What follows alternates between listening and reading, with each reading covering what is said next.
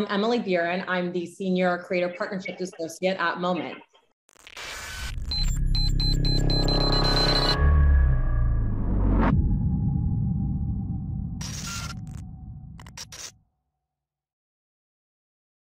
Hey, it's Kellen, and today on Diversified Game, we are going to have a moment with a creative partner, Miss Emily. She's going to give us the game about Moment, moment.co for those of you say, Oh, I just want to get to the what's the website? What's the company? She's going to give you the game on Moment. It's why it's something you may want to do, especially for those of you who are creators. And I think all of us are creators. All of us have a voice and we have a story and we should share it. So, welcome to the show, Emily. How are you doing? I'm doing well. Thanks so much for having me.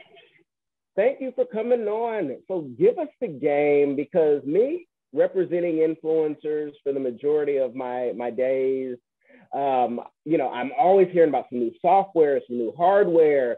So, I want you to tell the people so I can send this directly to clients and say, this is what Moment is. For sure. Moment is an amazing platform. It's a ticketed virtual events platform. And we're working with all different types of creators whether that be podcasters, YouTubers, or artists. It was founded in 2019. So even before the pandemic, we anticipated this need for more events in the live stream space. And of course, once the pandemic hit, it really took off. And we've really managed to sustain this business even as the world has shifted. And, and I think now people are so excited to go back to in person events, but also virtual events have become a staple in the business. They're not really seen as a replacement anymore for live shows, but more something supplemental. And especially, you know, if you're a creator that has an existing format that can really easily be translated and eventized into this type of um, model, it can be so successful and really just um, open up a whole new revenue stream, which is amazing. And of course, creators are always looking to do that and diversify their business. So it's a really great thing for, for creators to be able to access. And we built the platform to be as creator friendly as possible. You know, everything from having creators own 100% of their content IP. So if they want to take that content after they premiere it on Moment and continue to monetize it elsewhere, you know, we really welcome that and want them to continue to do so. They also own 100% of their ticket buyer data. So all the emails and postal codes that we collect about their fans is something that they get to use and, and utilize for future marketing purposes and we give them a lot of support on the platform. And one of the best things is that we currently have structured the business so that they take home 100% of the gross revenue, which is super rare in the creator monetization space. So we're really just trying to empower creators to generate meaningful revenue and open a place where they can connect with their audience in an engaging and meaningful way, and also just provide something new and fun. I think that's uh, one thing we're always hearing from creators is that it's just a really fun thing to do. And of course, there's a good financial return at the end of it. So kind of that balance of both. Okay, and it sounds like a, a remix of you know so many different platforms where you guys looked and said, "Oh, creators hate this, creators," and a remix. I say that, and I'm going somewhere with this. I'm going to kind of pick on you, Emily, because you went to USC, so you, you you you get you know um, themes like that that fight song, right? Yes. Um, and even that fight song can be remixed to the point where, and you might not be able to hear it, but the guests will be able to, the, the, the people can hear it. Anything can be remixed. And as a Stanford fan, we love a good remix of that USC any song. But can you tell the people, like with, you know, how does Moment make money or how does Moment, what's in it for Moment? Because if they get 100% of everything, does that mean it's going to cost me a big amount of money in the beginning? So I'm paying Moment, how much? ¿Cuánto cuesta? Yeah, great question. So we don't have a talent fee where you know people have to pay X, Y, and Z to join the platform. That's really not part of our ethos. The only thing we have in place is this 15% service fee that gets applied on top of any transaction on the platform, whether that be a ticket sale or a merchandise item. And it's actually similar to other other companies in the ticketing industry. You know, like a Ticketmaster. If you go on there to buy a concert ticket, you're always going to have some type of service that, as opposed to a rev share model where creators would have to give us you know a certain percentage of their earnings. I think it's just a little bit more fair and, and similar to other companies in the space. And is this something um, only for maybe America and the West, or can folks in Asia, Africa, and beyond, can they also have a moment?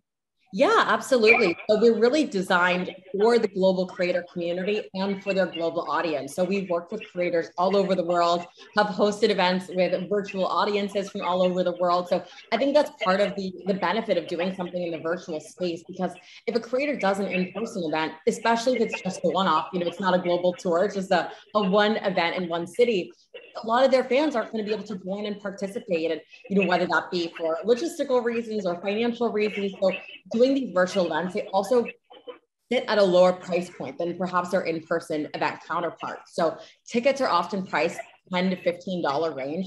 We don't want to price out anyone's fans. We want to just have it be affordable accessible and just really inclusive of their overall community is there any limit? And I ask that because um, African creators last year, um, especially those in Kenya, got hit, and, and other other countries got hit with like a double tax, where they got a tax from YouTube, then their country was already, you know, taxing them, and it was like now we're making even less, and our CPM isn't as high. So if I want to kind of break the game, can I keep having moments? So if I do that even daily and have a daily moment because if I knock out YouTube, which right now is the only player for many of them, mm-hmm. for their mm-hmm. audience, could they always have a moment every day if they wanted to? In theory, they could. I mean, our platform could definitely support that. However, we actually tend to encourage um, a less is more model because i think a lot of the you know players in the content space like a tiktok instagram even to some extent youtube now especially with shorts kind of encourage that 24 7 model when it comes to content you know if you really want to be um, seeing the best results and monetizing most creators often feel pressure to be posting all the time and just engaging with that community constantly I think that's great for those platforms. But the flip side of that is that it can kind of lead to burnout, you know, oversaturation of the fans. They feel kind of flooded with all this information. Um, so I think on our platform, one of the nice things is that because it's event based, it means that they're not having to do it and think about it all the time. You know, they really can just put their energy towards it and promote it around the time when they're doing an event. But after the event's done, they can put it on a shelf and you know move on to the next thing and then when the time is right start prepping for the next event. So most creators that are doing repeat moments are doing them on a quarterly biannually basis. For some type of creators it might make sense to look at a monthly or bi-monthly model um, but most are really doing them quarterly which i think is great because it'll give them time to rest and recharge in between but it also allows time for that fan anticipation to build up you know so they're not they don't feel like oh well why would i join today if i know i can just join tomorrow it sort of adds to the exclusivity factor of these does moment have a community give back that they're doing or that they plan on doing in the future so we're not currently doing any type of model where we're donating X, Y, and Z of our proceeds uh, to, you know, a charity or a nonprofit organization. We are quite an early stage startup, but I'm sure that's something we would, you know, love to explore in the future when the time is right. Okay, okay.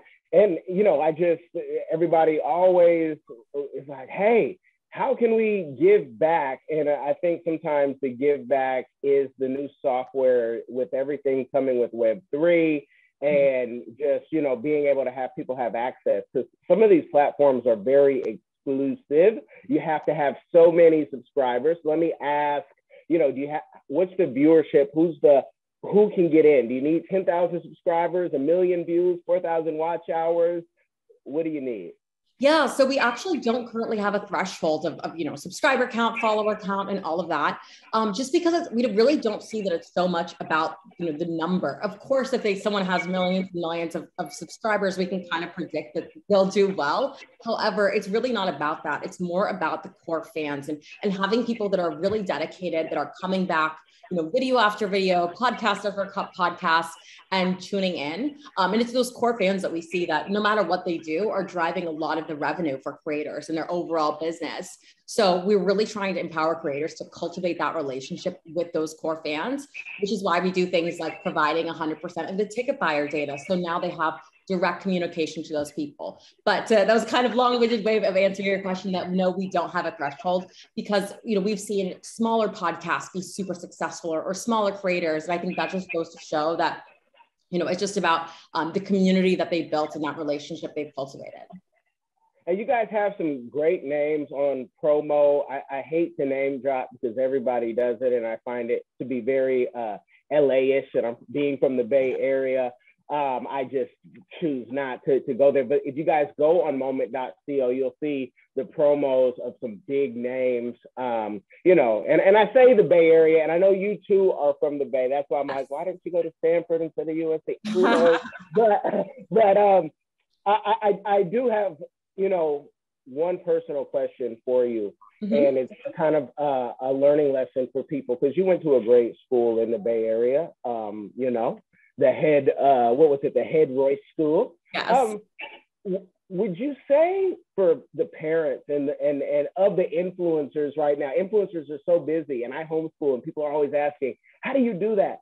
What would you say about private education right now? I'm just curious. I have to throw that out there because was it worth it? Yeah, I mean, I obviously don't really know anything else. So I, it's hard to have that point of comparison, but I really appreciate the experience. I think from a young age, actually, even before I attended Head Royce, I attended a very, very small elementary and middle school of like 13 kids in every grade. And it provided the opportunity, you know, from the age of 10 years old to learn Latin, art history, music history, and just get exposure to a lot of um, you know history and culture that i feel like isn't always present in education and certainly even within private schools isn't always there um, so just having that really close classroom experience you know cultivated in me things like an interest in love in shakespeare and other things that I think perhaps I wouldn't have had as much exposure to, um, or like Gilbert and Sullivan operettas, for example, just those small things that I think often aren't taught or, or kind of uh, glossed over sometimes. But I loved the experience. I thought it was great. I think um, there's can be big advantages in small classroom settings. And certainly by the time I, I, went to USC, that's such a great school if people are interested in getting into the entertainment industry, um, not just because of the support that the school provides and kind of have having access to you know people from all walks of life that kind of share common interests but i think just the opportunities of you know, being in Los Angeles or any big city, really. I mean, certainly when I was in school, I was taking every opportunity to intern and put myself out there and just learn as much as I could on the ground. And I think to some extent that's helped me the most overall, just having that experience um, from an earlier age of just, you know, getting a taste of what the workforce is like. You guys, we just had a moment and Emily didn't charge you a ticket price. So if you want to know more, you're going to have to wait for her moment and then buy a ticket let the people know. Last, thing is with Moment because that you have such big names and the the content is so good. Um, are there any requirements on you know camera, audio? Because there are some people who are just filming off you know phones or off the Osmo Pocket and they're saying, well, am I even ready for moment? Is it for anybody at any quality, or does your quality have to be set at a certain level? Yeah, so we definitely like to have the events feel very high quality because I think that helps differentiate it from the content that they're already putting out, you know, on YouTube or TikTok. Um, I think, you know, if, if, you look at creators who are doing live streams on TikTok and Instagram, they have a very casual feel to them. You know, they're done on an iPhone and they're kind of in the moment, which I think is great. And, and that's very successful on those platforms. But for us, we really like to have everything feel elevated because I think that helps convey that this is a premium content experience. I mean, sort of the challenge in doing moments overall for creators is differentiating it from their fans and what they're already getting for free and, and kind of giving them the, the value proposition of why they should um, pay to join this event. So I think having everything feel high quality just lends itself well to conveying that message.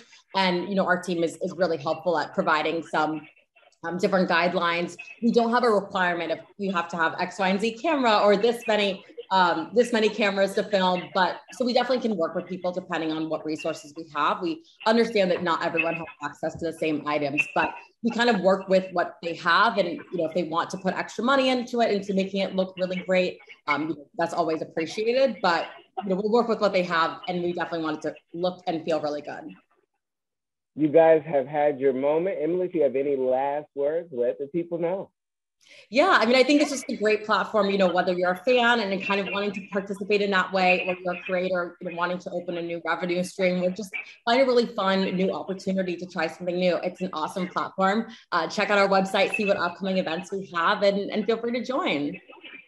You guys have been given the game. Make sure that you share it with somebody. It will change their life. Be blessed, you guys. Are you tired of the rat race in America? Are you ready to visit the motherland to relax and rejuvenate? Are you ready to explore all that Africa has to offer? Then check out the brand new Diversified Game Academy course, Prepare for My First Trip to Africa. Are you worried about being able to afford the trip? We got you. We will show you how to travel either on a budget or as a baller. Learn how to stress the value of the USD. Did you know that 100 United States dollars is worth over 1,000 South African rand or 10,000 Kenyan shillings?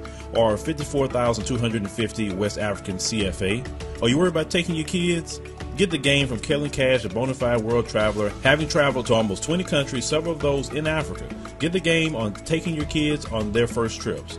Learn how to find the best tickets, get the visas, and plan your own adventures in Africa. Don't let Eddie Murphy have all the fun. Plan your own coming to Africa trip starring you, produced by you, and featuring you.